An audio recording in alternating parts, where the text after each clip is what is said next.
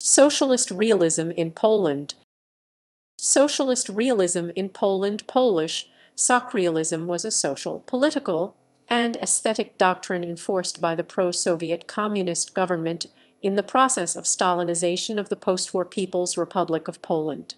The official policy was introduced in 1949 by a decree of the Polish United Workers' Party minister later, Minister of Culture and Art Włodzimierz Sokorski. As in all Soviet-dominated Eastern Bloc countries, socialist realism became the main instrument of political control in the building of totalitarianism. However, the trend has never become truly dominant. Following Stalin's death on March 5, 1953, and the subsequent de-Stalinization of all people's republics, Polish artists, writers and architects started abandoning it around 1955. The de-Stalinization process peaked during the Polish October. History The policy was enforced in Poland between 1949 and 1956 amidst the wave of human rights abuses committed by the state security forces. It involved all domains of cultural politics including visual, music, and literary arts, though its most spectacular achievements were made in the field of architecture. The objectives of this new trend were explained in a 1949 resolution of the National Council of Party Architects. Architecture was declared a key weapon in the creation of a new social order. It was intended to help spread the communist ideology by influencing citizens' consciousness as well as their outlook on life. During this massive undertaking, a crucial role fell to designers perceived not as merely architects creating streets and edifices, but rather as engineers of the human soul.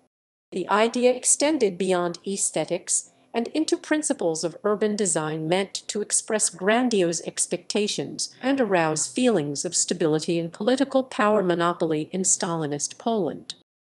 Local characteristics Painting and sculpture Socialist realism in Polish art was confined to portraits of party leaders and various depictions of muscular laborers and battle scenes, with special attention paid to popular taste.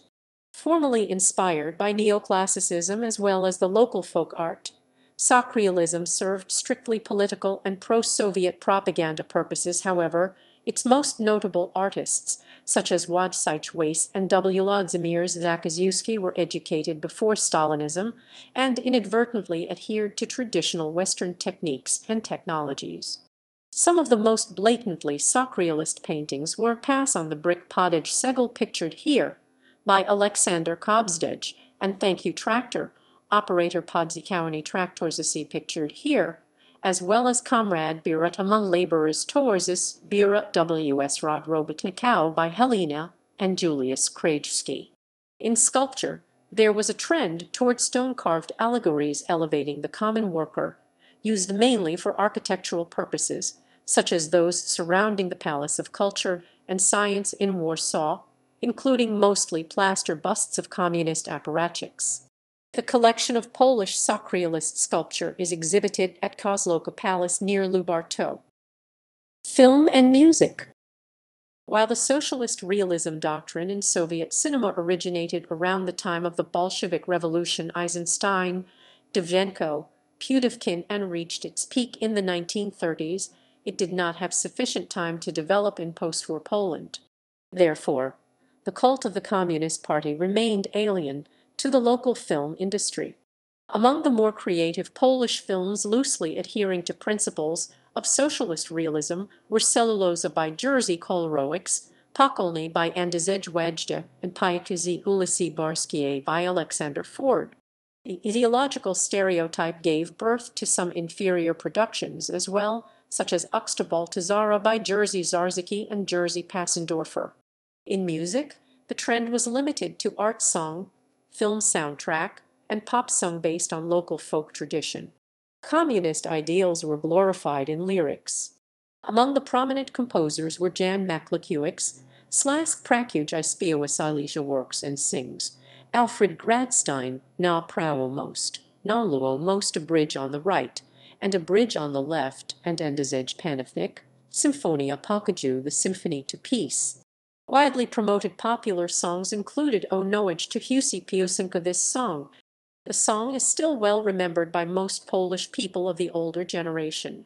Following Stalin's death, and especially from 1953 on, critical opinions were heard with increasing frequency. Finally, as part of the Gomułka political thaw from within the Polish United Workers' Party, the entire doctrine was officially given up in 1956.